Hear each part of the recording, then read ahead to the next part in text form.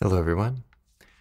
Today we're going to talk about melodic structures. So I've been talking about these for uh, these kinds of things um, on the channel, uh, probably pretty pretty much aligned with uh, with the um, when the member area uh, started, um, and I've been pretty excited about just uh, sharing this uh, information in general. So today we're going to talk about that. Um, and we're going to talk about some different ways of uh, uh, utilizing them. Talk about what they are. Do a little review, and then um, and then go from go from there. And uh, so I'm going to take a little bit of a solo to play us on, and uh, uh, see if I can place in a few of these uh, kind of melodic structures and things as I as I go along. So this is. Days of Wine and Roses. And um, so we'll get going here to start us out. Make sure everything is lined up here properly. And um, so we'll begin with with this. Hopefully everything's kind of in line here. We'll see.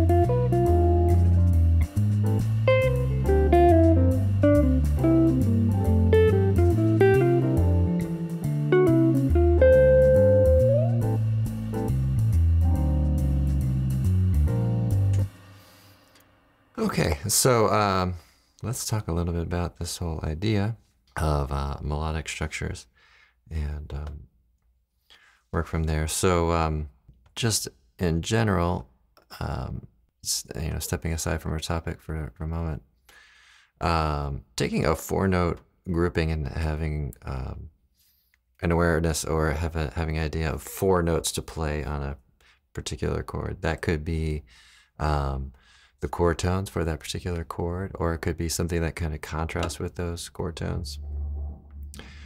Um, so the uh, melodic structures kind of fall into that that sort of idea uh, of taking uh, four tones and and really trying to apply them over um, over a chord, uh, a given chord, and then stringing together uh, melody.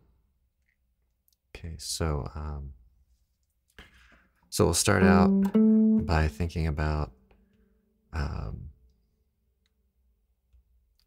some of those root notes of tones. So let's say we have a, a F chord. Okay, so there we have this melodic structure. We have the F major triad, and then we have um, some stepwise motion sort of sitting in between the root note and the uh, third. So, right, and that can going to be your melodic material maybe to play on that chord change. And then you can play um, different, uh, let's say, inversions of that. So.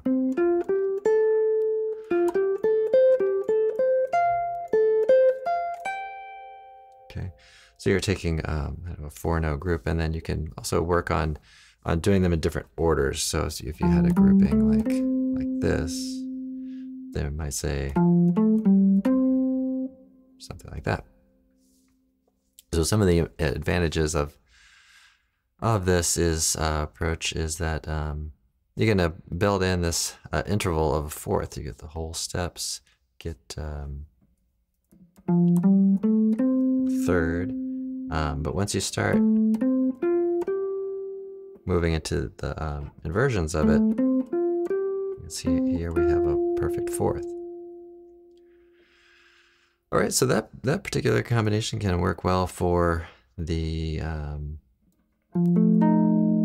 dominant seven, major seven. Um, but it can also we can also build off of different parts of this of the of a particular chord with that particular shape. So we'll get into that later. That's kind of the main thing we're gonna try to work out. So if you have a dominant seventh chord with a flat nine, you can just maybe alter that a little bit. So flat the the nine there. So then, then you get a tone that kind of corresponds with that.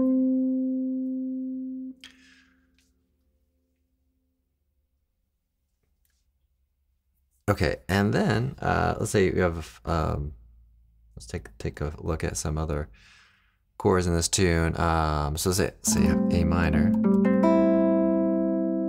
Okay, so we could uh, play the um, um, minor version of the melodic structure. What's kind of interesting about this too is that um, if you combine the the minor right and then the major melodic structure. So a minor melodic structure c major melodic structure. Collectively you get five notes. So it's it's kind of tied in with a pentatonic scale and it has gives that sort of impression and that sound. All right but just to kind of take that little little closer look at that we have a minor Okay, so we have the minor triad, and then we have this tone in between the flat third and the fifth. Okay. All right, so those are melodic structures, and then let's say we have a, um, let's say we have a chord change uh, in this tune. We have a chord, we have a chord uh, change from uh, the E minor seven flat five to the A7 flat 9. So that might be a good spot to use the minor melodic structure, but you flat, flat the 5 in order to uh, have sort of compatibility with that sound of the flat 5. So even with those those two melodic structures, the major and the minor, you adapt them a little bit for some of those those chords. So you have four um, melodic structures and their inversions and their iterations. Um, so you can work at a lot of material um, through uh, the use of those. All right. So, um, so let's slow it down a little bit and, um, um, all right. So, um, we'll, we'll take it at a slower tempo here. I'm gonna um, check the live stream for any question or questions or comments. All right, and then uh, let's take it a little slower, and I'm gonna really kind of deliberately um, work at outlining some of those uh, melodic structures. Okay, so if you're checking this out on the podcast, there is a uh, video version for uh, members of the YouTube channel, uh, youtube.com forward slash fretprints. Uh, you can also visit fretprints.com. All right, so let's um, play a little bit. So here I'm going over kind of a specific concept. Uh, so I'm play slower, and it's going to sound a little um, maybe kind of contrived, but um, I'm going to uh, uh, make an effort to demonstrate sort of the sounds of some of those melodic structures.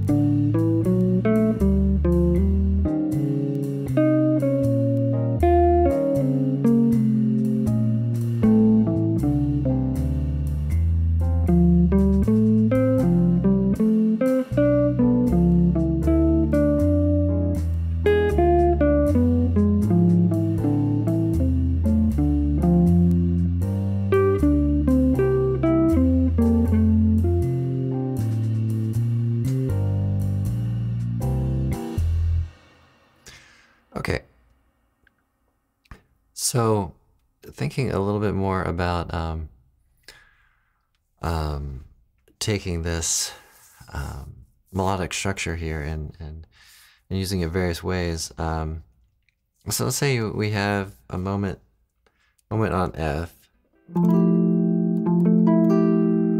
So we might play a C melodic structure on the F.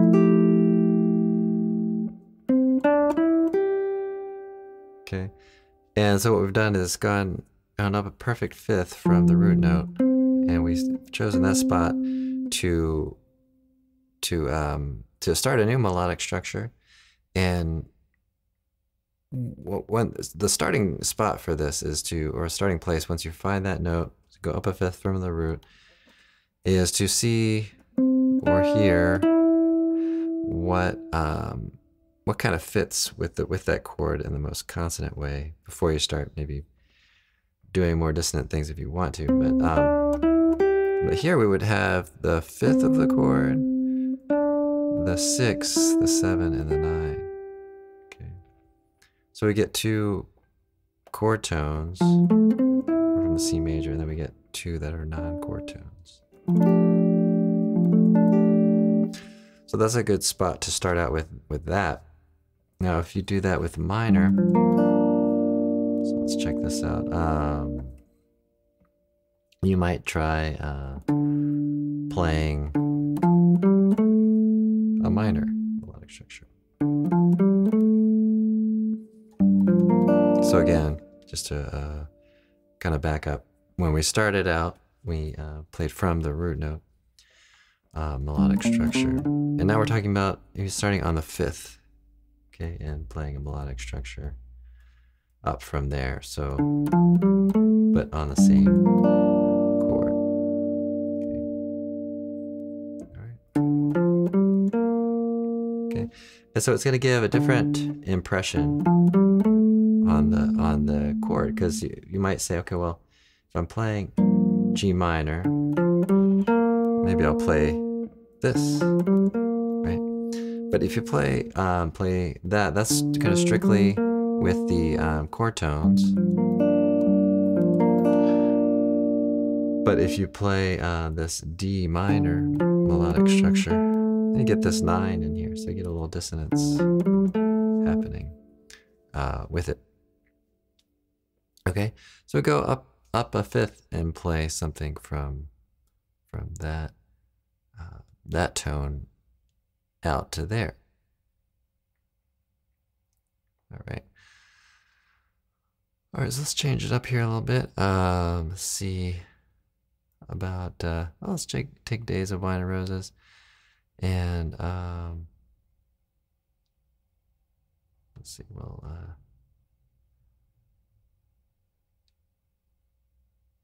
well, uh, let's stick with this kind of similar kind of groove here. Uh, from uh, what we did a little bit yesterday. Um, so I'm to kind of give us a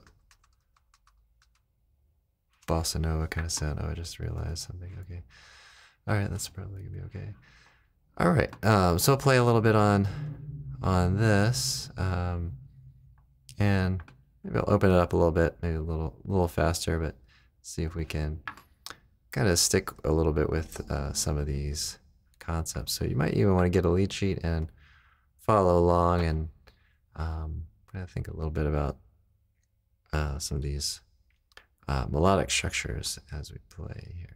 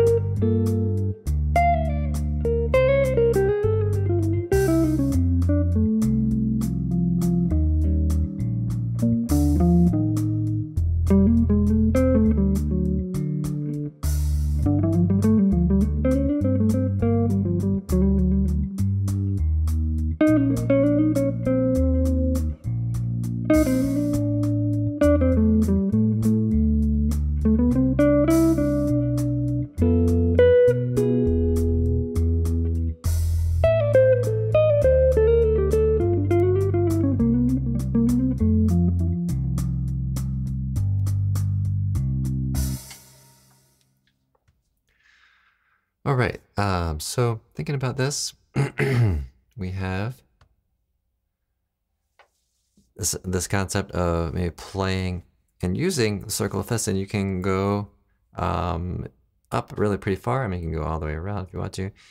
Um, but playing with the um, the fifth, and then maybe from the second, right? So, for example, say we have F major.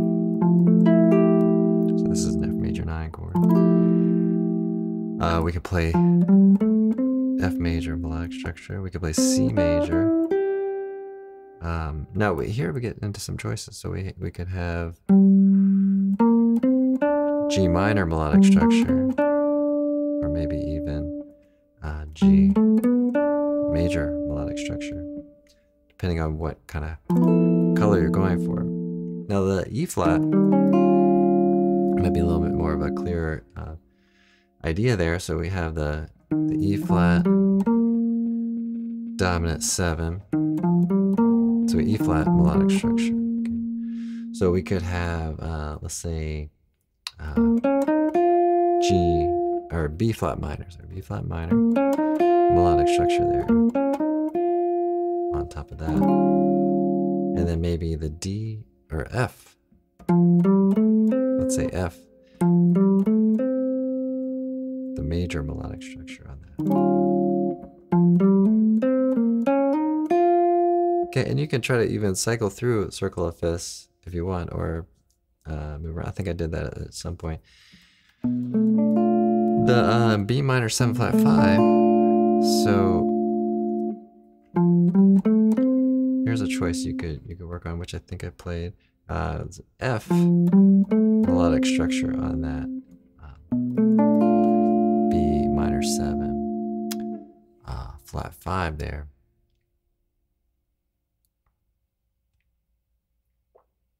Okay, so to review here, we have uh, melodic structures. We have um, basically a triad with, with an added um, color. That's one way to look at it. Um, or you could even think of it as a uh, pentatonic scale that's that's missing one. Right. So we have four notes, so it sits in between. Um, in general, kind of a triad and um, pentatonic. Right. So um, let's do a little playing on a on a blues here. See how this um, sounds for us on on this one. I think I'm just gonna basically play right kind through it. Um, so this is one of our tunes from uh, for this month, a blues tune. Okay, so we're trying um, to work out three three different um, kind of types of tunes and stuff.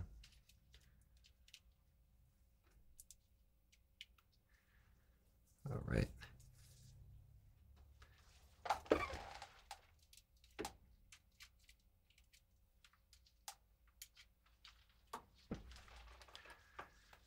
Okay, so let's begin. Again, with all that, let's play, take it up a little bit.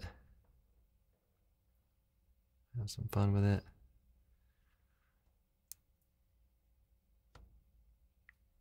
So I'll put the changes in there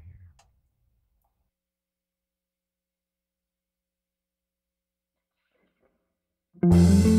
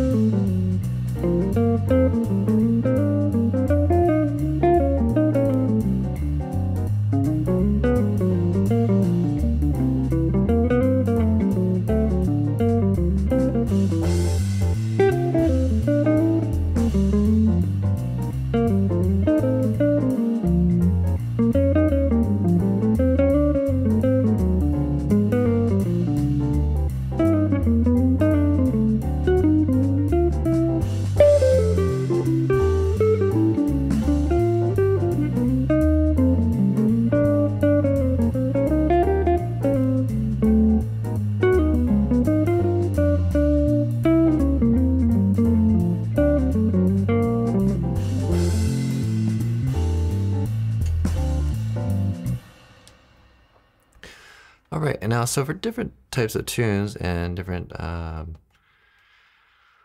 um, let's say, if, if, if chord changes are changing really fairly rapidly, uh, like in this tune, or maybe a tune like um, Giant Steps, which is a fast tempo and um, tonalities are moving uh, quickly. Um, then you might want to stick to to outlining more of the changes uh, a little bit more. But of course, that's all up to the improviser. But um, um, so there are a couple moments where I made an effort to stretch out a little bit, but um, but kind of sticking with it um, and with those changes helps to outline what the uh, what the chords are. So these uh, melodic structures really do help with um, with outlining chord changes and um, keeping everything um, kind of in some kind of order um, or some kind of structure. All right. So several things to um, just kind of think about. We want to, um, of course, take these melodic structures and internalize them, and then hear them on different uh, uh, type types of chord sounds. So you might start with, um, you know, the root note, and then also the um, um, the fifth as as good spots too. Both of those will outline the chords pretty pretty well. So let's say we have we have F F major. So we'll say okay, E minor, A7. So I might, might play something like that. The flat, B flat there.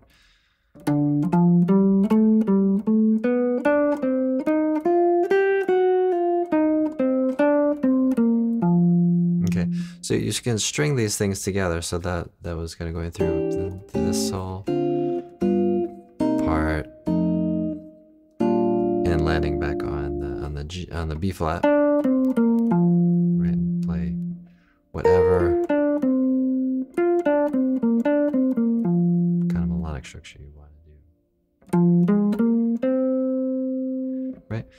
Some things will, you know, kind of lead in an interesting direction. So you have, uh, say, we have this B flat minor going to this E flat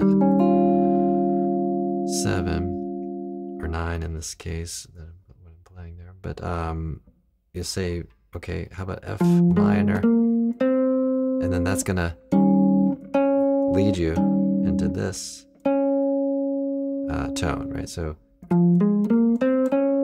So that works pretty well. I'm playing B flat minor chord, or that's what the chord that's that's being played, and then playing F minor uh, melodic structure, and then see if we can aim at that flat seven of the E flat. And then you can kind of ask yourself, well, does that uh, connect to another melodic structure that you could maybe work from? So um, let's say maybe the B flat melodic structure. So, right, so you can have develop a line like. Uh,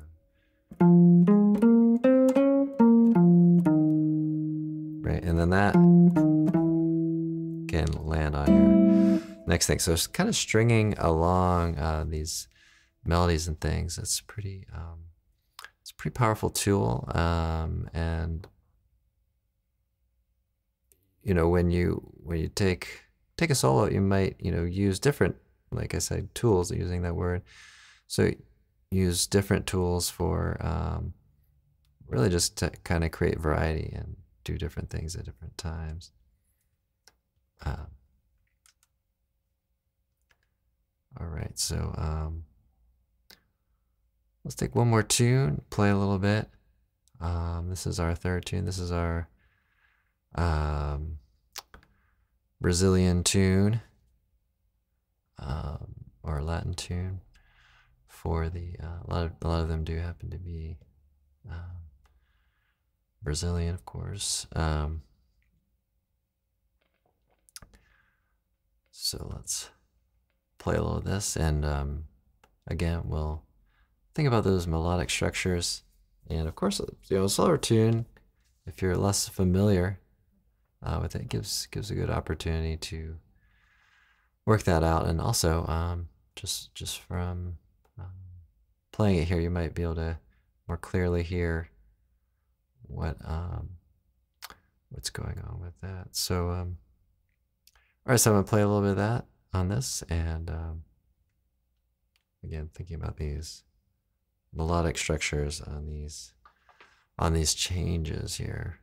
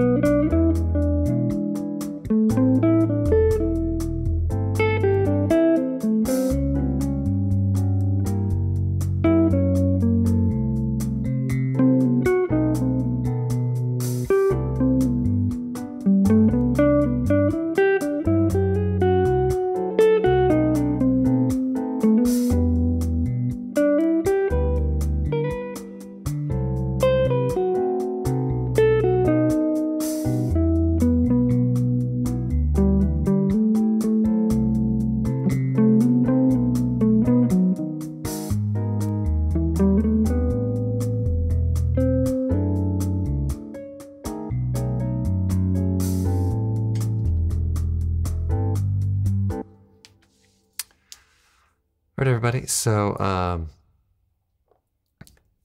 thanks for checking out this um, live stream. And uh, again, talking about melodic structures here. Um,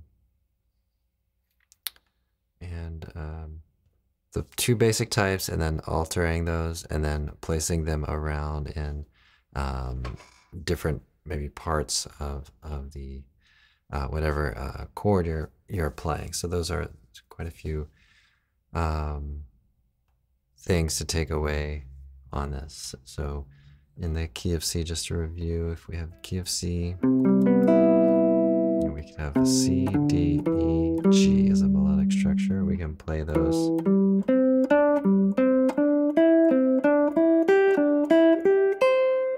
Um, same notes in different uh, orders, different inversions. and then we can play different iterations of any one of those. So, um, so if your if your inversion is that, then you might mix them up. Different uh, configurations, you might say, and then uh, um, so those are those elements. So you have the basic uh, shapes themselves.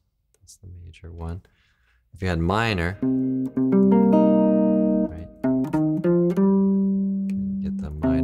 structure. That we C minor here. You get the uh, root, flat three, four, five. Okay.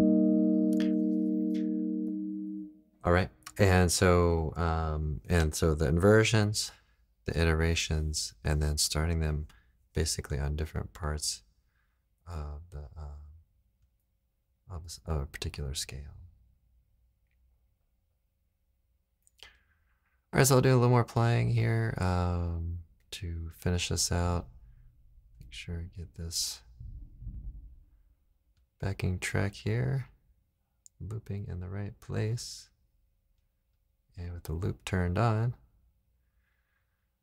All right. Uh, so this has been a, bit, a big project. Um, kind of working on figuring all this out for a while, and uh, yeah, it's going pretty well. But a couple hit a couple snags here and there, but uh, this will give us kind of a context to for for our learning on these uh, on these tunes and things. So we'll take it a little bit up and um, so listen for some of those uh, melodic structures, and I might play just fairly freely as well, but I will uh, make an effort to mix things, mix things in. So.